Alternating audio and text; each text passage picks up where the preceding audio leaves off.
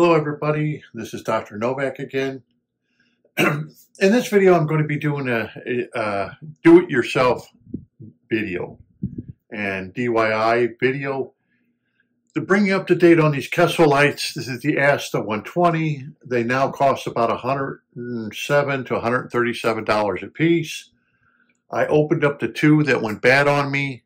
Well, basically what it is is you have the uh, 60 watt and 20, let's say if you have 60 watt and there's 20 LEDs, that would be three watts an LED.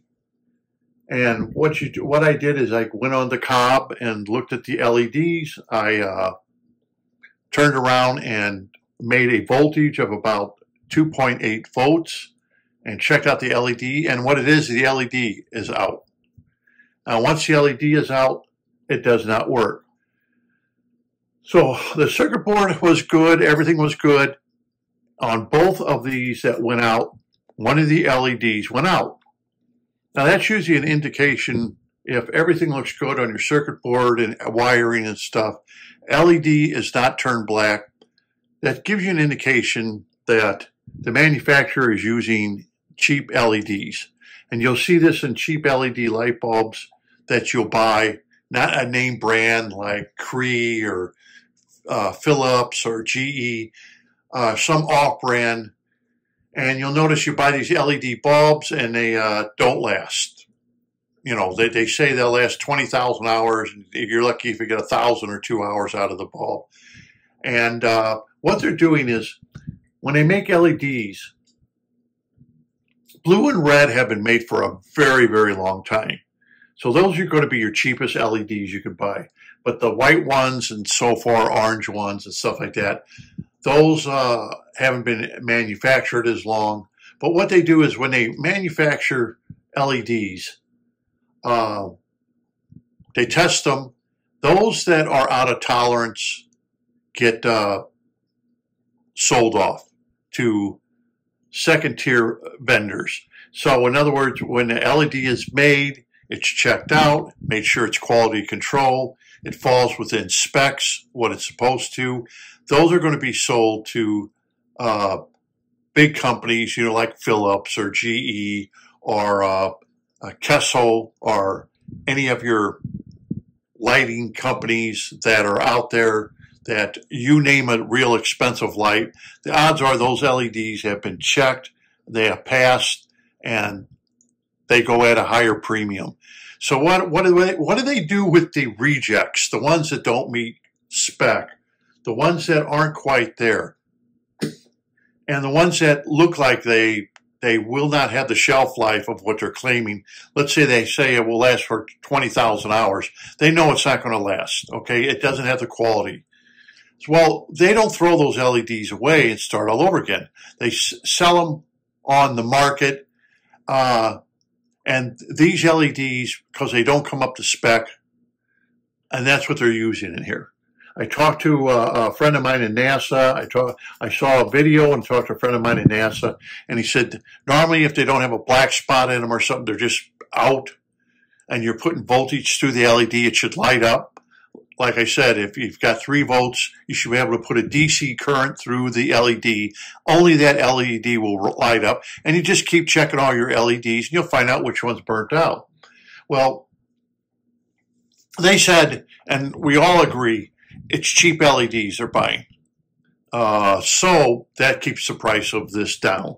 If you go out and buy, you know, hundreds of thousands of these defective LED uh, they're going to wind up uh, not lasting as long because both lamps that I had, both of these lamps, had the same problem. One of the LEDs just quit working.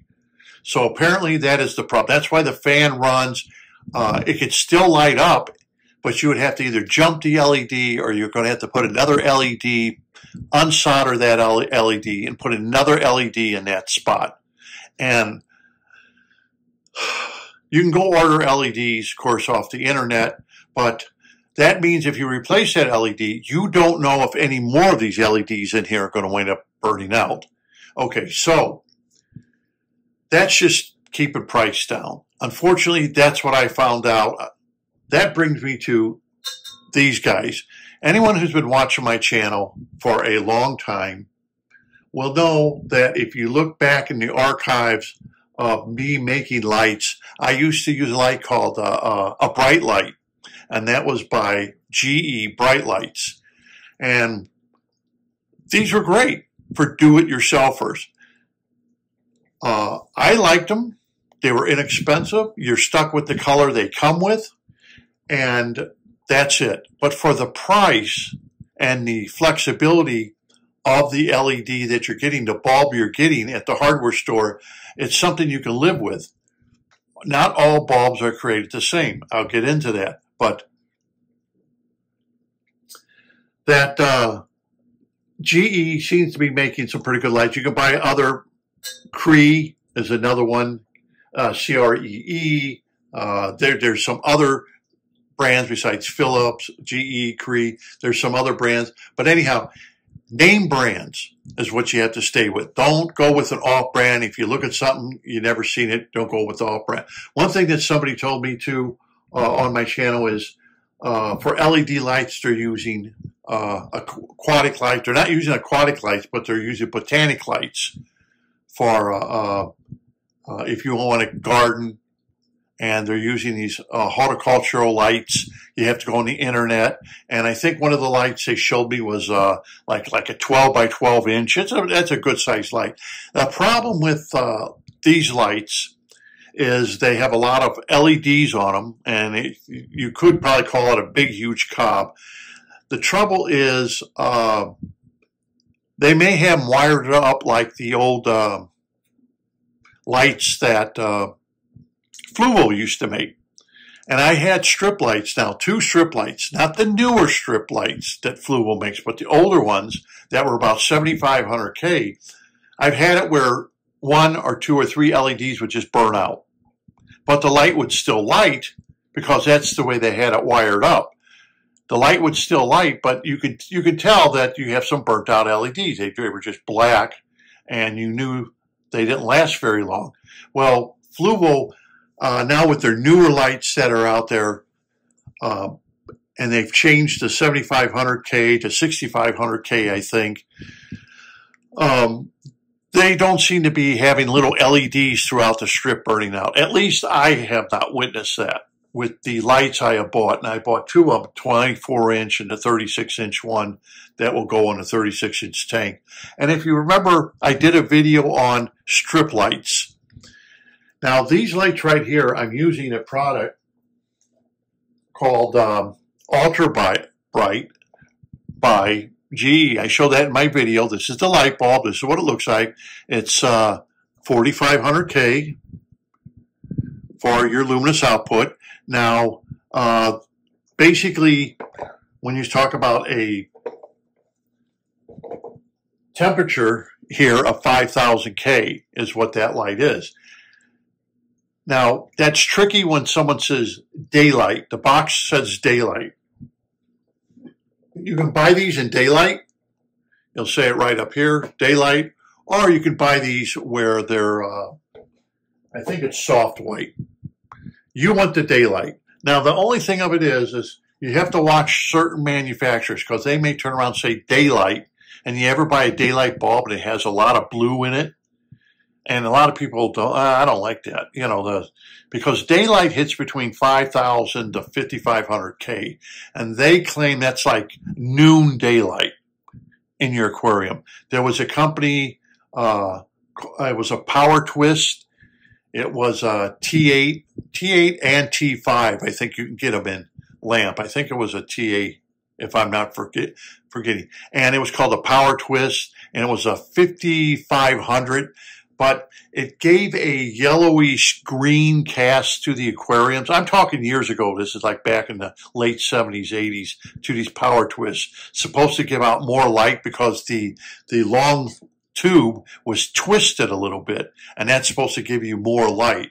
But anyway, they didn't really go over big because the color they gave off wasn't appealing to the eye. Yes, it was great for plants, but for the eye, it it didn't go over because of that. You know, it, it just was, oh, I, don't like the way the aquarium looks. It, it, It's not appealing. But I did notice something that uh, on these Kessil lights, like the 160, for example, they have a little knob. You can turn it from 6,000K to 9,000K. Uh, but if you go down to the 6,000K, it has a yellowish, greeny, greenish look to the to the light in your aquarium. Uh, it looks brighter to the human eye than if you go up to the 9000K. It will uh, definitely look have a bluer cast, and people don't want that. In saltwater, yeah, Freshwater, no, we don't want that bluish cast. Plus the fact it's in freshwater, we don't want blue, we want red.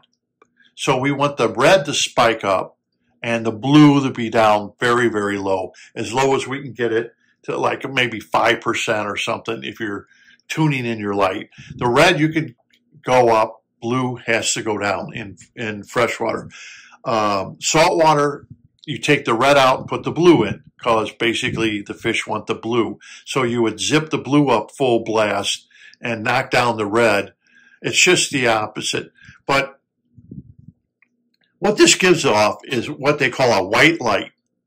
Now, I don't mind it. They're, they're, they're non-adjustable, the light bulbs. They're non-dimmable, so whatever brightness they are, you're going to have to live with. It's a non-dimmable light bulb. They also make a uh, grow bulbs too, GE, which is basically uh, a flood lamp. And it will say for flowers, and then one of the bulbs will say for seedlings. Okay, they change the spectrum, tweak it out where you'll have more blue and a lot of red, and the other bulb for flowers will have a lot less blue in it, and it doesn't peak as high in the, in the yellows and greens but it will peak and spike real high in the red.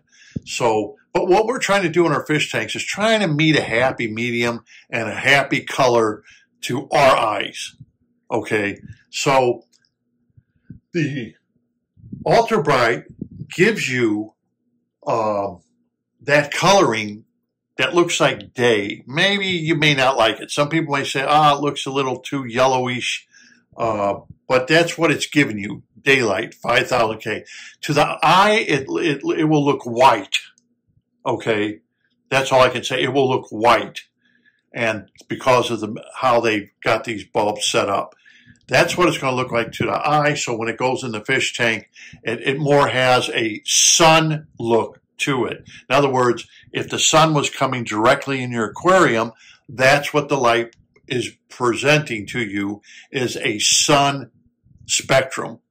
And some people may not like that. They may want a little more blue. So these are non-tweakable light bulbs. The ultra brights, they're non-tweakable. So it is what it is. They they cost about uh, $25 a piece.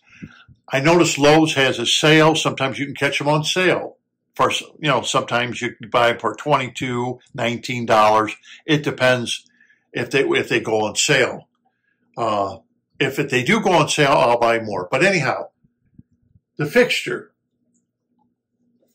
uh, this fixture the azu fixtures are going to be a glossy uh, black on the outside they're going to be a little bit wider on, on the bottom and they're going to be a white porcelain top on the Azu. Uh, you can buy them at any Petco, PetSmart. A lot of them sell it. This particular light, which is also popular, is called a ReptiZoo. And I've seen ReptiZoo lights being sold at uh, different vendors too. Now, the ReptiZoo is uh, I think it's a little better quality made. You know, not that the Azu ones aren't, but for example, the light is going to be a little wider on the Azu, uh, but the difference is in, internally. Internally, you got a shiny uh, aluminum where the Azu will have a dull aluminum. In other words, just a brush aluminum. where this actually has a shiny aluminum interior to help reflect the light out of it.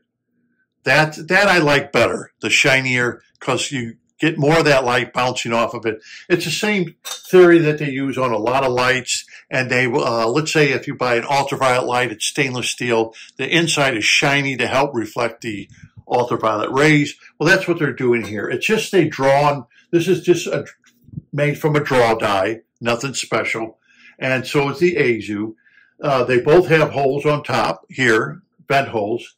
The wiring here on this lamp is far, far better than the wiring on the Azus. Theirs is thinner. Uh, the opening on top here is, is smaller, so you may have to bend it yourself to get it over here. These arms are from uh, the lights, the, the Astolites, the arms are. So I'm not 100% sure if you could buy just the arms by themselves. I think you can, but since these arms are available already, these lights hook on. All you do is unscrew the top bolt, put the light on, and screw it back in and it holds it. That's it. That's all the work you have to do. And then, of course, tie up your your cord onto your right here. Tie up your cord with with little twists, which you can buy a package of them at the hardware store. Anyhow, I wanted to show you this that as you can see, I, now I've done this for years. Now, can you can you see that? I'll I'll try to get a better shot of that than than what I'm getting.